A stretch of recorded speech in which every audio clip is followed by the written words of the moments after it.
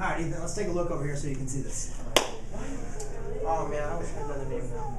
I know, it's getting almost annoying now. Alright, so when I'm looking up here, ladies and gentlemen, remember, when we're trying to do elimination, when we're trying to do elimination, it's essential that we have the same number as our coefficient.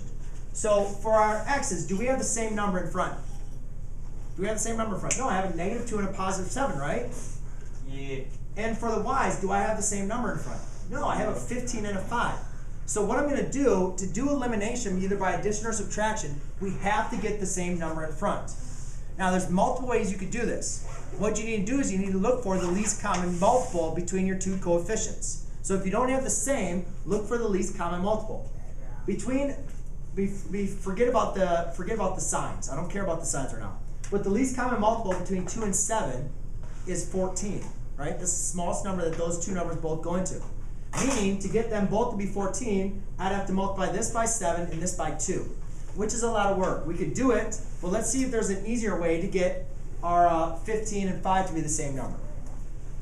And I look at 15 and 5, the lowest common multiple between 15 and 5 is 15. I don't need to do anything to get 15 to be 15. All I need to do to get this negative 5 for 15 is to multiply by 3. So that's exactly what I'm going to do. I multiply the bottom equation by 3. Remember, it's an equation, so you have to multiply everything times 3. Therefore, I rewrite the top again. Negative 2x plus 15y equals negative 32. 3 times 7x is um, 21x. 3 times 5y is negative 15y. And 3 times 7 is going to be 17. 34 is going to be uh, 51. Now, do you guys see what I just did? Now what we do is we have the same coefficient, one's positive, one's negative.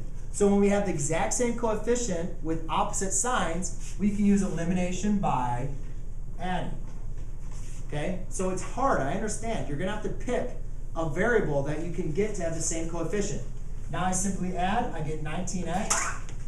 That becomes 0y equals 19. 19x equals 19. Divide by 19, x equals 1. Now that I know the value of 1, I plug that back into one of my equations. It doesn't matter which one you do, but you got to make sure you plug at 1 in for the x. Negative 2. So what I'll do, um, that becomes negative 2 plus 15y equals negative 32. Add 2. 15y equals negative 30. Holy crap. Oh my gosh. I'm Why? gonna down there. Wasn't that good? Oh, nice and quick. Hey, what's that last number? That is a y equals a negative 2. Sorry. That's a Uh, negative. You thought you were awesome. Thought I was trying to be. So y equals negative 2, x equals 1, okay? I went through this, guys, really quickly because this is just solving, this is just plugging in and solving. Stuff we've been working on for over and over and over and over. This All right? But ladies and gentlemen, it's just, it is long. And guess what? Here's how you want to speed it up.